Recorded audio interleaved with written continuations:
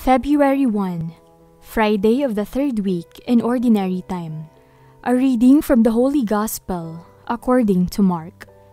Jesus said to the crowds, This is how it is with the kingdom of God. It's as if a man were to scatter seed on the land, and would sleep and rise night and day, and the seed would sprout and grow, he knows not how. Of its own accord, the land yields fruit.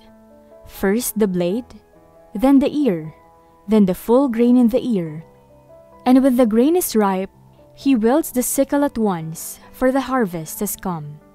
He said, To what shall we compare the kingdom of God? Or what parable can we use for it? It's like a mustard seed, then when it is sown in the ground, is the smallest of all the seeds on the earth. But once it is sown, it springs up and becomes the largest of plants, and puts forth large branches, so that the birds of the sky can dwell in its shade. With many such parables, he spoke the word to them as they were able to understand it. Without parables, he did not speak to them, but to his own disciples he explained everything in private. The Gospel of the Lord. The seed would sprout and grow.